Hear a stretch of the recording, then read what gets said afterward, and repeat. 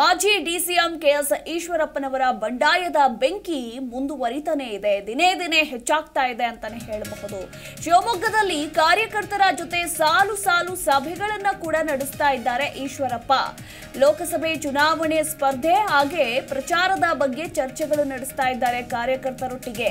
ಮಲ್ಲೇಶ್ವರಂ ನಗರದ ಈಶ್ವರಪ್ಪ ಮನೆಯಲ್ಲಿ ಕಾರ್ಯಕರ್ತರ ಸಭೆಯನ್ನ ಕೂಡ ಆ, ಹಮ್ಮಿಕೊಳ್ಳಲಾಗಿರುವಂತದ್ದು ತಮ್ಮ ನಿವಾಸದಲ್ಲಿ ಕಾರ್ಯಕರ್ತರ ಸಭೆಯನ್ನ ಕೂಡ ನಡೆಸಿದ್ದಾರೆ ಈಗಾಗಲೇ ಮಲ್ಲೇಶ್ವರಂ ನಗರದಲ್ಲಿ. ಇನ್ನು ಸಭೆಯಲ್ಲಿ ಮಾಜಿ ಮಹಾನಗರ ಪಾಲಿಕೆ ಸದಸ್ಯರು ಹಾಗೆ ವಿವಿಧ ಸಮುದಾಯದ ಮುಖಂಡರು ಕೂಡ ಭಾಗಿಯಾಗಿದ್ರು ಅನ್ನೋ ಅಪ್ಡೇಟ್ ಸಿಕ್ಕಿದೆ. ಒಂದು ಲೋಕಸಭೆ ಚುನಾವಣೆ ಸ್ಪರ್ಧೆ ಹಾಗೆ ಪ್ರಚಾರದ ಬಗ್ಗೆ ಕಾರ್ಯಕರ್ತರೊಟ್ಟಿಗೆ ಚರ್ಚೆಗಳನ್ನ ನಡೆಸಿದ್ದಾರೆ. ಒಂದು ಕಡೆ ಬಿಜೆಪಿ ನಾಯಕರು ಹೇಳ್ತಾರೆ ಅವರ ಮುನಿಸನ್ನ ಶಮನಗೊಳಿಸ್ತೇವೆ. ಅವರು ಯಾವುದೇ ಕಾರಣಕ್ಕೂ ಬಂಡಾಯ ಎದ್ದೇಳೋದಿಲ್ಲ. ಅಭ್ಯರ್ಥಿ ಪರವೇ ನಿಲ್ಲುತ್ತಾರೆ ಅಂತ ಒಂದು ಕಡೆ ರಾಜ್ಯಾಧ್ಯಕ್ಷ ವಿಜೇಂದ್ರ ಇರಬಹುದು. ಹಾಗೆ ರಾಜ್ಯ ನಾಯಕರು ಮೊನ್ನೆ ಅಷ್ಟೇ ಮಾಜಿ ಸಿಎಂ ಬೊಮ್ಮಾಯಿ ಕೂಡ ಹೇಳ್ತಾ ಇದ್ರು. ಬಟ್ ಈಗ ಈಶ್ವರಪ್ಪನವರ ನಡೆಗಳನ್ನ ನೋಡ್ತಾ ಇದ್ರೆ ಬಹುತೇಕ ಪಕ್ಷೇತರರಾಗಿ ಸ್ಪರ್ಧೆ ಮಾಡೋದು ಫಿಕ್ಸ್ ಆದಂತೆ ಕಾಣ್ತಾ ಇದೆ. ಸೊ ಹೀಗಾಗಿ ಶಿವಮೊಗ್ಗದಲ್ಲಿ ಕಾರ್ಯಕರ್ತರ ಜೊತೆ ಸಾಲು ಸಾಲು ಸಭೆಗಳನ್ನ ಕೂಡ ನಡೆಸಿದ್ದಾರೆ.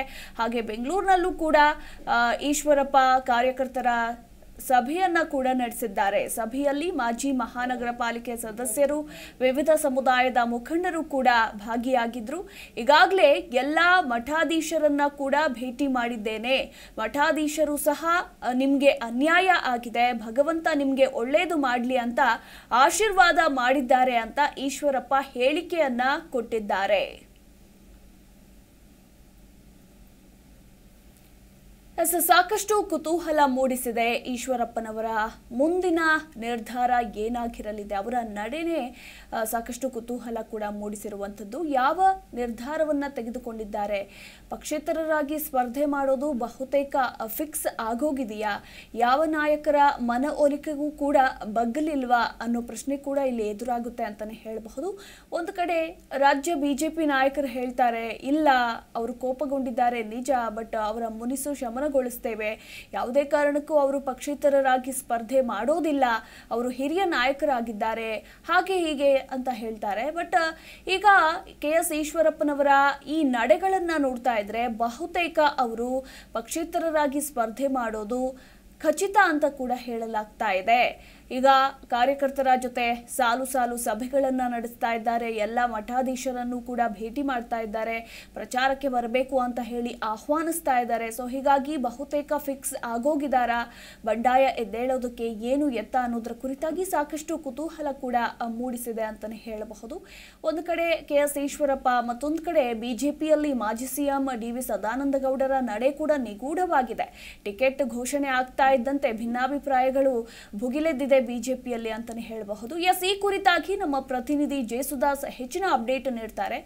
ಜೇಸುದಾಸ್, ಒಂದು ಕಡೆ ರಾಜ್ಯ ಬಿಜೆಪಿ ನಾಯಕರು ಹೇಳ್ತಾರೆ, ಯಾವುದೇ ಕಾರಣಕ್ಕೂ ಅವರು ಬಂಡಾಯ ಎದ್ದೇಳೋದಿಲ್ಲ ಕೋಪದಲ್ಲಿ ಆ ರೀತಿ ಹೇಳಿದ್ದಾರೆ. ಅವಸರ ನಿರ್ಧಾರಗಳನ್ನು ತೆಗೆದುಕೊಳ್ತಾ ಇದ್ದಾರೆ. ಬಟ್ ಅವರ ಅಸಮಾಧಾನ ಮುನಿಸೆಲ್ಲ ಆಗತ್ತೆ ಅಂತ ಒಂದು ಕಡೆ ಬಿಜೆಪಿ ನಾಯಕರು ಹೇಳ್ತಾ ಇದ್ದಾರೆ ಇಲ್ಲಿ ಈಶ್ವರಪ್ಪನವರ ನಡೆನೇ ನಿಗೂಢವಾಗಿದೆ.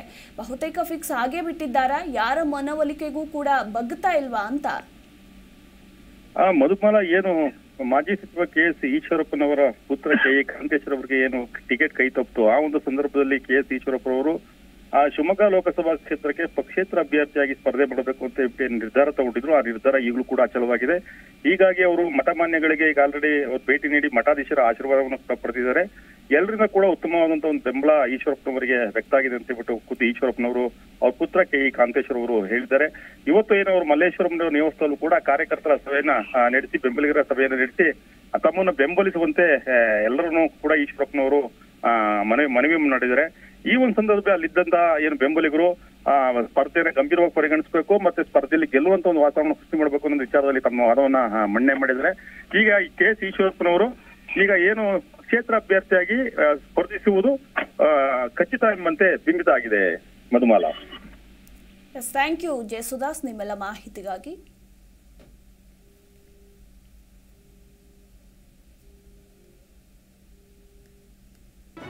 ಜಿ ಕನ್ನಡ ನ್ಯೂಸ್ ಈಗ ನಿಮ್ಮ ಮನೆಯಲ್ಲೇ ನೋಡಿ.